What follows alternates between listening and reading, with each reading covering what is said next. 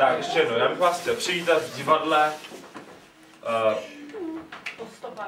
po stopách Jary Cimrmana. Uh, dnes večer zhlédnete divadelní hru, jevištní hru, uh, která nemá název. A teďka přijde vědecký seminář, který pro nás připravila skupina, která tvořila vědecký seminář. Takže si to užijte.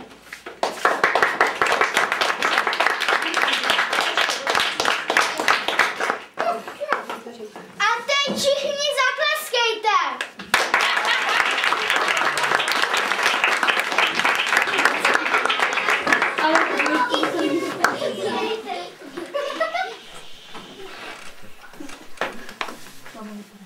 Vážení přátelé, vítáme vás na dnešní konferenci, kterou se rozhodl náš amatérský cimnologický spolek uspořádat zde v obci Písečná. Jak jste se již dočetli v tisku a dostechli v médiích, právě zde došlo ke zcela zásadnímu a převratnému objevu místního rodáka pana Emila K. Podlidský kulturní výdeník jim nalezené útržky označil za pravděpodobně vůbec první pěstonský deník.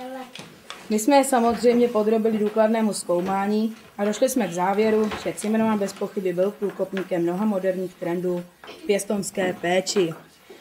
S těmito překvapivými odhaleními jsme seznámili širokou mezinárodní cimnologickou obec a pozvali jsme přední kapacity v oboru na tuto konferenci. Slovutní cimnologové z Prahy, na které jste se jistě všichni těšili, že se nám omluvili, ale jsme rádi, že mezi námi můžeme přivít aspoň vídeňského experta, pana profesora Erika Fiedlera. A teď všichni zatleskejte!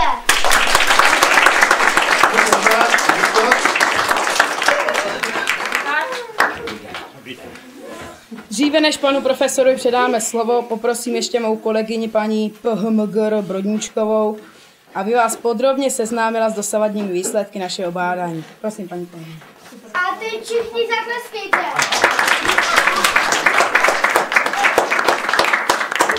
Ano, ano, děkuji za potlesk. Tak eh, při našem bádání jsme se zaměřili Eh, na Cimrmanologii pro zatím nezmapované období od roku 1910, kdy, jak jistě všichni víme, Jára Cimrman opustil zámek Konopiště, kde působil jako vychovatel dětí následníka Habsburského trůnu Ferdinanda d'Este, do roku 1911, kdy samozřejmě začal pracovat jako nadšený pedagog v Liptákově. Podařilo se nám zjistit, že, jak pro nás jistě není překvapením, ani v tomto roce Zimmermann nezahálel. Ale jak jsme na to tedy přišli, že? V kronice obce Písečná se právě v roce 1910 objevuje zmínka, ze které je zřejmé, že došlo k dramatickému nárůstu počtu obyvatel. Provedli jsme proto komparativní výzkum, při kterém jsme zjistili, že ve stejném roce došlo v sousední obci ke stejně dramatickému poklesu počtu obyvatel. To nám samozřejmě přišlo jako velmi podezřelá schoda okolností. Onou sousední obcí je totiž vážení přátelé Žampach. Ano. A jak je všeobecně známo, opět v roce 1910 samozřejmě. Došlo k transformaci tamního CK Siročince na Ústav pro mentálně postižené hochy. Vysvětlení je prosté. Jara Zimmermann, nadšený výsledky svého vychovatelského úsilí na Konopišti, navštívil siročinec v Žampachu. Většinu zde umístěných dětí převzal do své péče a odvezl je do obce Písečná, Stal se tak prakticky jejich jediným vychovatelem a vzdělavatelem. Tolik tedy prozatím k výsledkům bádání našeho amatérského cimrmanologického spolku. A nyní bych již předala slovo panu profesoru Fiedlerovi, který nám jako fundovaný cimrmanolog s letitou praxí jistě řekne mnohem více na téma Cimrman a pěstounská péče. A teď všichni zatleskejte! Prosím, pane profesore.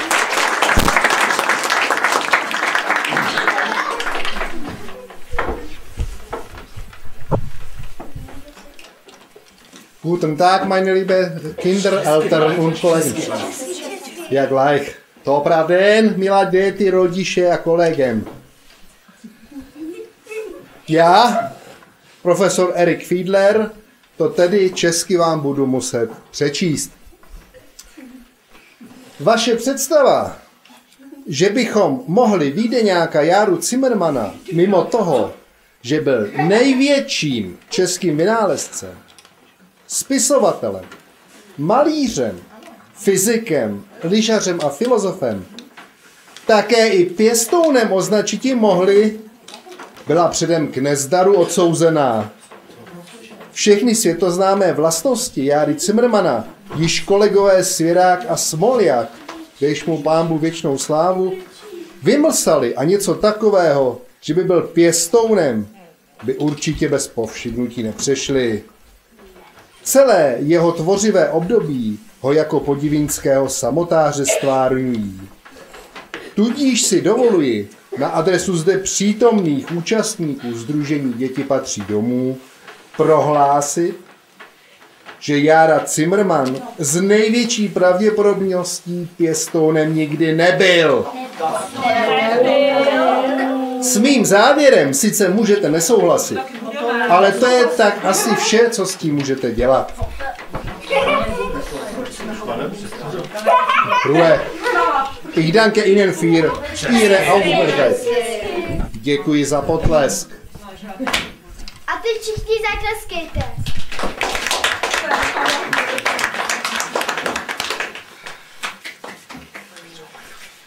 Tak to vám, pane profesore, pěkně děkujeme. Může na to někdo z kolegů navázat? Třeba vy, paní doktorka Jenová.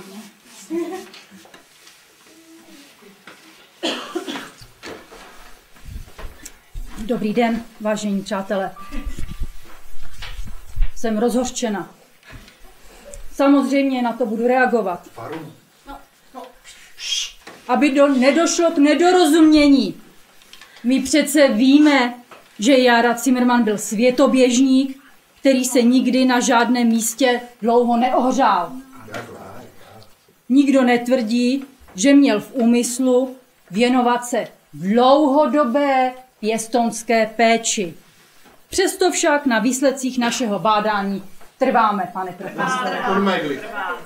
Jako vizionář, jako vizionář si Zimmerman uvědomoval důležitost potřeby poskytnout osiřelým dětem šanci na život v rodině. To jste řekla moc. Ano, to. To právě on je původním autorem hesla Děti patří domů. Asi skandál! A teď všichni zatleskejte. Bylo mu však jasné, že zkosnatělé CK úřady těmto dětem žádnou rodinu nesprostředkují a právě proto přišel s radikálním řešením. Vytvořil pilotní projekt Sin City Syrový a pro jeho realizaci si vybral právě obec Písečná. Obsah projektu byl následující. Jára Zimmerman se dětem celodenně věnoval a využíval přitom svého dramatického nadání i svých pedagogických schopností. Vytvářel na tělošité dramatizace, v nich řešil problémy vyvstávající v průběhu, průběhu jejich společného soužití a zároveň jejich prostřednictvím připravoval nenásilnou formou obyvatele obce na převzetí těchto dětí do dlouhodobé pěstonské péče. Obyvatelé totiž netušili, že se jedná jen o přehrávané scénky, čili de facto o první pokusy o dnes tak oblíbené reality show. Díky čemuž došlo k automatickému vyselektování vhodných budoucích pěstounů. Část obyvatel byla totiž natolik pobouřena některými scénami, že se dobrovolně rozhodla z malebné výsky odstěhovat do nedalekého Žamberka. Naopak ti odolnější nejenže s Zimmermanem soucítili, ale začali mu sami od sebe s dětmi pomáhat. Tímto způsobem Jára Zimmerman postupně tyto děti předal do péče příslušných rodin natrvalo. Pane profesore, stal se tak nejen průkopníkem krátkodobé pěstonské péče, ale také zakladatelem příprav pro budoucí pěstouny, vážení přátelé. Jeho drobné manuály této činnosti se bohužel nedochovaly. Jak jsme k výše zřečeným závěrům došli? Vycházeli jsme z již zmíněných útržků. Poprosím nyní o vstup našeho odborníka na výzkum mikroartefaktů inženýra Kubáta. A paní všichni zatleskejte.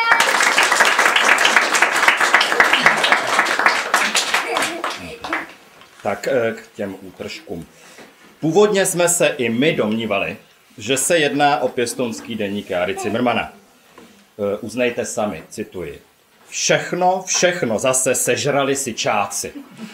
A i podmáslí skažené, a i půl prasete od strýca z Moravy. Myší pastičky do čista olízali a jednu dokonce ohlodali, což jich dosti nekrmím. To je jeden z útržků. Nebo další. Zase překvapivě nezvládli. Máme mokré kalhoty, spotky, přehozy, ba i záclonky po nebožce. Jen jistá nádoba je jako obvykle suchá jak trout. Dochází mi inspirace i mídlo s jelenem. Jsem blízek zoufalství. Já už ne. Tady útržek končí. Není tedy divu, že jsme se i my nechali svést na falešnou stopu. Posléze jsme však, a to zejména na základě výpovědi pamětníků, zjistili, že se nejedná o deník, nýbrž o útržky scénářů z dramatizací a scének.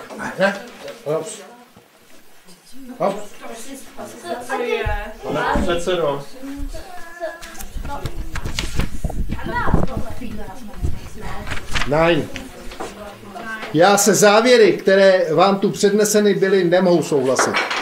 Jára Zimmermann byl do Písečné vyslán, aby na Chovancích nedalekého ústavu v Žampachu svůj nově vyvíjený univerzální prostředek na léčbu kožních onemocnění otestoval.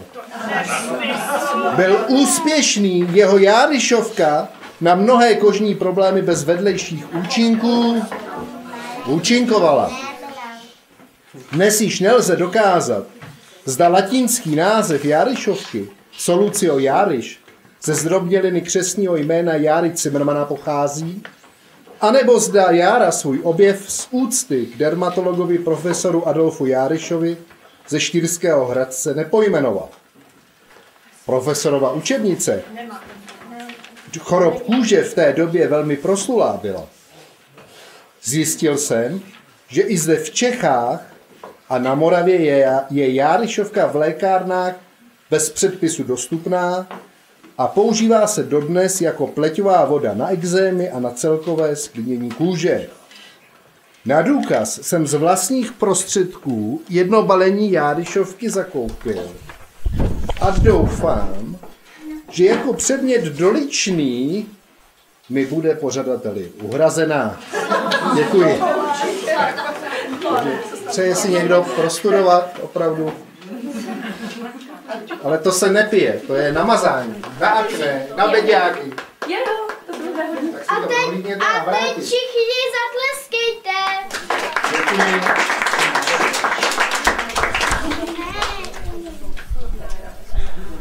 Mikrofon.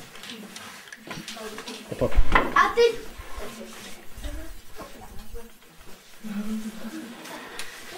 A teď všichni zatleskejte. A, tak to jo. Já jsem... Pane profesore, nezlobte se, ale pokusy na dětech? Ne, pane profesore, při vší úctě k vaší osobě i k výsledkům vaší dlouholeté práce s vámi nemohu souhlasit a musím s vámi, eh, musím vám oponovat. Naše informace jsou odlišné. Ve sklepě, domu číslo popisné, číslo, jeden, eh, číslo 11 zde v Písečné, byly totiž nalezeny ohořelé pozůstatky darovací listiny, o tom vy zřejmě nevíte, která dokládá, že, cituji, dne 21. února roku 1910 darovala česká mecenáška Vlastenka Anna Stubenbergová, mimochodem majitelka zámku Letohrad, tehdy Kišperk, 200 litrů, Solucio Járyš. Bohužel více se z listiny nedochovalo, takže nemůžeme s určitostí tvrdit, komu byl dar určen. Předpokládáme však, že obdarovaným byl právě Jára Zimmermann Neboť v dochované pohádce sám Zimmerman děkuje této mecenášce za sponzorský dar. Jak se s sponzorským darem naložil a více o pohádkách vám řekne moje kolegyně, paní doktorka přírodních věd Marta Kubátová. Prosím, paní kolegyně. Děkuji kolegovi. Tak o Zimmermanovi jako pohádkáři již toho bylo mnoho napsáno. Proto se chci zaměřit na pohádky typické pouze pro písečenské období. Je s podivem, že tyto pohádky dosud nebyly širší veřejnosti známy. My jsme jim totiž během našeho krátkého pobytu v Písečné doslova nemohli uniknout. Písečané ve směs potomci Cimrmanových svěřenců si je totiž předávají z generace na generaci a vyprávějí si je při každé vhodné příležitosti, jako například v hospodách, přestávce fotbalového utkání či během zasedání obecního zastupitelstva. Největší výskyt pohádek jsme zaznamenali, a to je právě zajímavé, ordinacích dětských lékařů. Nám tedy již jen zbývalo tyto pohádky zaznamenat a podrobit analýze. Zaujalo nás, že každá pohádka nejenže je kombinací hned několika klasických pohádek, ale ještě se traduje ve třech různě časově odstupňovaných verzích. Nejkratší pohádky mají okolo jedné minuty.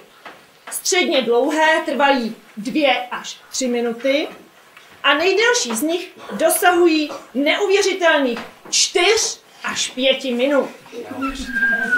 Ano, to je neuvěřitelné. Proč tomu tak je? Jak víme, Jara Zimmerman dostal sponzorským darem 200 litrů járyšovky. A to není jen tak. Sponzorským darem 200 litrů járyšovky, pane kolego. Představte si 200 litrový soudek. No kdyby tak s pivem, že jo? Ale co s járyšovkou? Z obavy, že se s takovou zátěží bude muset vláčet na svou další štaci, rozhodl se Zimmerman aplikovat járyšovku u svých svěřenců prakticky na všechny neduhy. Banální záděrkou počínaje a skvrnitým tyfem konče. Je dobře známým faktem, že ústavní děti jsou neklidné, hyperaktivní, s poruchami pozornosti a soustředění. Aplikace járyšovky trvající podle velikosti dětského tělíčka jednu, dvě až tři, anebo až pět minut, tudíž nebyla jednoduchá. Jára Zimmerman zabil několik much jednou ranou. Pardon, teď jsem přeskočila řádek, omlouvám se, to je důležité, to nemůžu. Takže Jára zabil několik much jednou ranou. Jednak udržel děti v klidu, po dobu nezbytně nutnou a zároveň posiloval jejich koncentraci pozornosti a v neposlední řadě rozvíjel jejich analytické schopnosti, neboť děti měly za úkol určit, ze kterých klasických pohádek se Zimmermanova inovovaná pohádka skládá. Vzhledem k tomu, že aplikace Járyšovky je sama o sobě fyzicky nepříjemná, není divu, že se dětem pohádky tak nesmazatelně vrily do paměti, kolego. Došlo zde totiž k využití principu takzvané negativní imprese. Výsledky našeho bádání vám předvedeme nyní v praxi. Prosím, třeba vás, pane kolego, tak hm, prosím pohádku. Tak, um, bylo nebylo, v jedné chalupce žili maminka, tatínek, Jeníček a Mařenka. Jejich sociální situace byla velmi tristní. Když krize rodina, rodiny dosáhla vrcholu, zbalila maminka dětem košíček, dobrot a poslala je do hlubokého černého lesa, aby se jich jednou provždy zbavila. Děti dlouho bloudily lesem a protože dobře znali pohádku o Perinkové chloupce, vylezl Jeníček na strom, zara- zaradoval se, když uviděl ne jedno, ale hned dvě světýlka. Vydali se totiž tím směrem.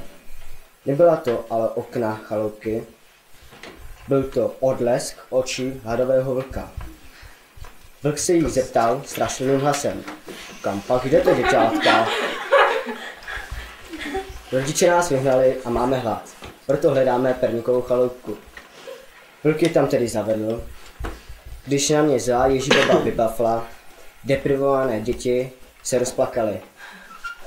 Vlk se naštval a babu sežral. Děti si pak vzali do pěstounské péče a žili spolu v perníkové chloupce šťastně až do smrti. A teď všichni zatleskejte.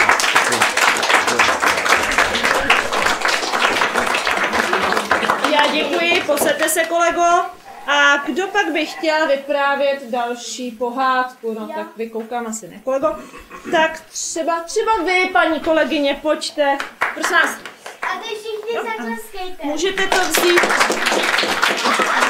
Můžete to vzít třeba od toho, čekajte, jak velk sežral Ježibabu, ano? Ta, tady, ano. Ano, vidím to. Ano, ano. Vlk se naštval a babu sežral.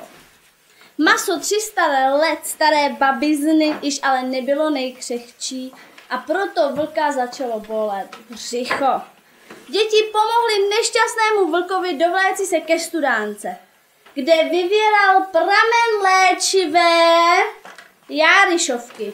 Tímto děkujeme naší mecenášce Aně Štubenbergové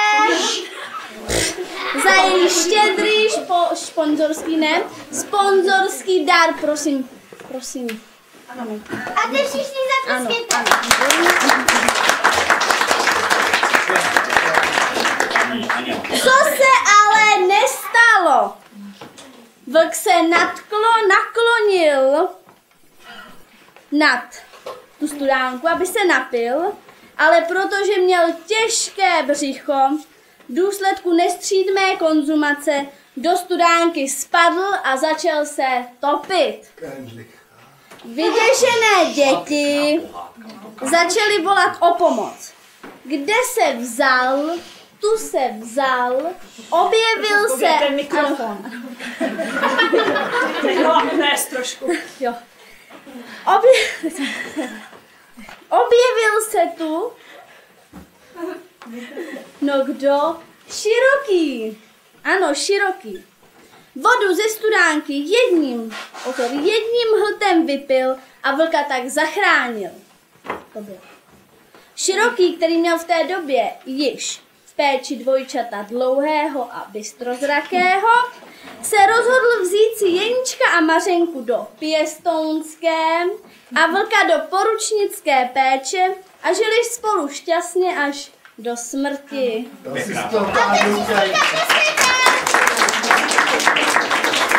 Kolegyně, vaše brýle.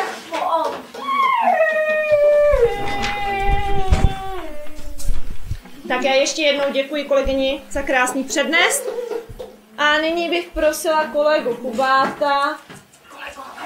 Pane Kubát, pane profesore, pojďte prosím vás. Ano. Takže vážení, přá... Máte mikrofon. vážení přátelé, vítáme vás na dnešní konferenci, kterou se rozhodl náš amatérský Prosím vás, pane profesore, tady jo. Eh, pohádku, jo. Tohle to už ne, to už tady bylo. Tady, jo, prosím vás. Aha, pohádku.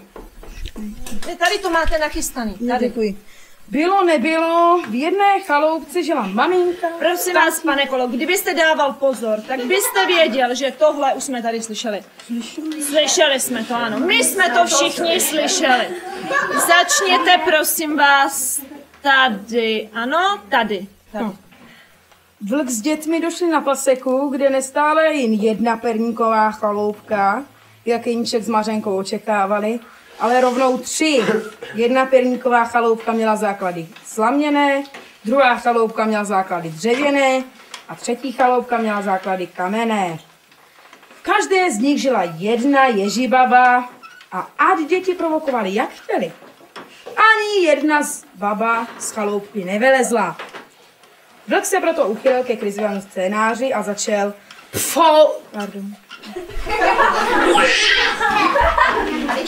Začal foukat na chaloupku se slaměnými základy. Ta se sesula k zemi a vlk překvapenou ježibabu sežral. A přesunul se k další chaloupce. Tedy to již nebylo tak jednoduché, vlk již byl předspaný a nedařilo se mu pořádně nadechnout. Děti ho pozbuzovali skandona, skandováním. Foukej, foukej, vlčíčku, skoč mi kousek perníčku. Vyjecovaný vlk se nadechl a fouknul. I druhá chaloupka se zřítila k zemi a její obyvatelka skončila rovněž ve vlčím žaludku. Na třetí chaloupku, již žíznivý a vyčerpaný vlk neměl dost sil, tak se dovalil ke studánce, aby se napil. Počkejte, počkejte, A-. Ten konec už známe, že jo? To je stejné. Vlk zachrá... Vlka zachránil široký a postaral se i o děti. To víme, jo? Prosím vás, přečtěte nám už jenom ten závěr. Děkuji. Závěr. Jistě vám teď ale vrtá hlavou, jak to dopadlo se třetí ježibabou. Ona to, milé děti, nebyla ježibaba, ale hodná a empatická dáma středního věku s odpovídajícím vzděláním. A právě ona se rozhodla, že bude nově vzniklou pěstonskou rodinu doprovázet. A všichni ve společné harmonii žili šťastně až do smrti. Asi z Děkuji. Za pozornost.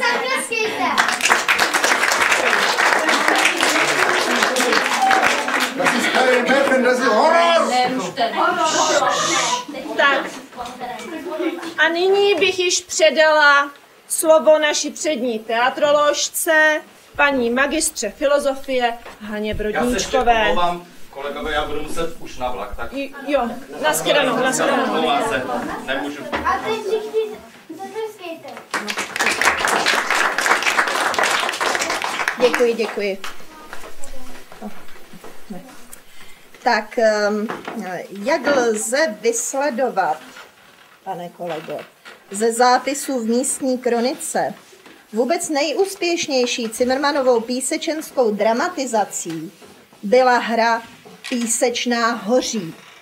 Zimmerman tuto hru připravoval a secvičoval vlastně po celou dobu svého ročního působení v Písečné. A tato hra byla jakýmsi, jak dnes už všichni víme, vyvrcholením přípravy budoucích pěstounů. Jara Zimmerman byl horlivým a zapáleným propagátorem zážitkové pedagogiky. V níž razil heslo Zážitek nemusí být příjemný, hlavně, že je silný. Ano, to bylo výborné heslo. A hra, při které lehla popelem nejen Cimrmanova chalupa, ale i několik chalup sousedních, takovým zážitkem nesporně byla. Hašením největšího požáru od dob založení písečné stmelilo Cimrmanovi svěřence se zbývajícími starousedlíky natolik, že Zimmerman mohl ještě před závěrečnou scénkou premiéry výzku opustit s vpravdě hřejivým pocitem, že o děti bude dobře postaráno. Každoroční výročí premiéry této hry je tedy pro písečany zároveň oslavy, oslavou přijetím dětí do nových rodin.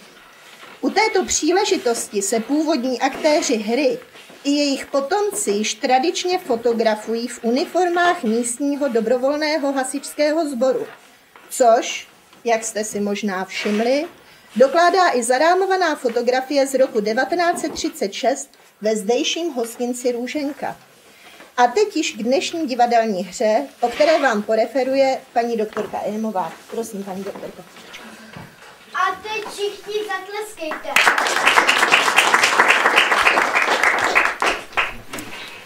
Původně jsme vám dnes chtěli předvést právě hru Písečná hoří. Bohužel majitelka ubytovacího zařízení Rubínek, ve kterém se nacházíme, s tímto návrhem pro nás nepochopitelných důvodů nesouhlasila. Rozumíte tomu? Byli jsme proto nuceni hledat náhradní řešení, kde ale najít původní scénáře Zimmermanových dramatizací. Začínali jsme si zoufat. Naštěstí jsme cestou z pracovní porady našli ve dvě hodiny ráno před místním konzumem střícnou stále se usmívající stařenku.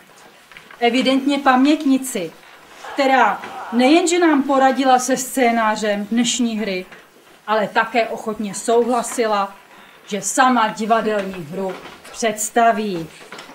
Takže přivítejme paní Emílii Amnézii Chroustalovou.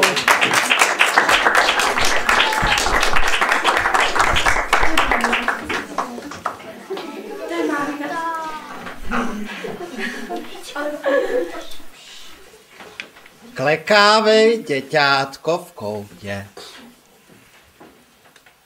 Jestli nepřestaneš ječe, dítě moje pěstované, budeš tady v koutě kleče, dřív než budeš vychované.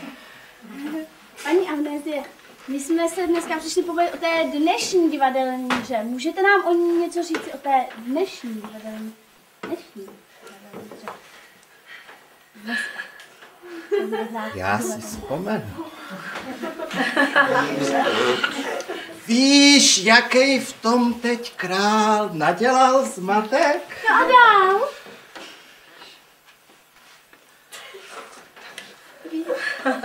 Rozmontoval hodiny s kukačkami a sestrojil z nich něco nepopsatelného. Prý chtěl vynalézt perpetuum mobile. Dostal sice z výchovných důvodů pár pohlavků, leč byl jsem náň, říkával, na kluka ušatého hrdý. Však vy o něm ještě písečané uslyšíte. Podařilo se mi zjistit, proč jí říkají amnézie. Než trpět depresí ve vzorném bytě, nauč radostně žíti své dítě. Prosím paní Amnézie, o čem teď mluvíte? Vraťme se k té divadelní hře, k té dnešní divadelní hře. Hra Hru na slepou bábu už jsme hráli.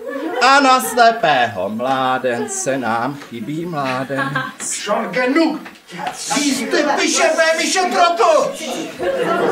Děti zlaté, vidím, že jste v sobě nalezli zalíbení. Promiňte, ale tohle to fakt jako děkujeme.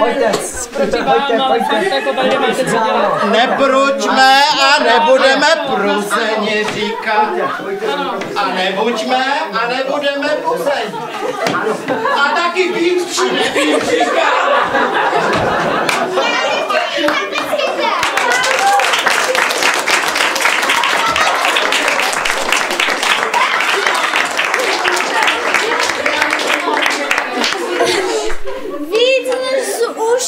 Ní asi bohužel nevyrazíme, takže po krátké předstávce se společně podíváme na, samostat, na samostatnou, ano kolegové, divadelní hru. Děkujeme za pozornost, děkujeme.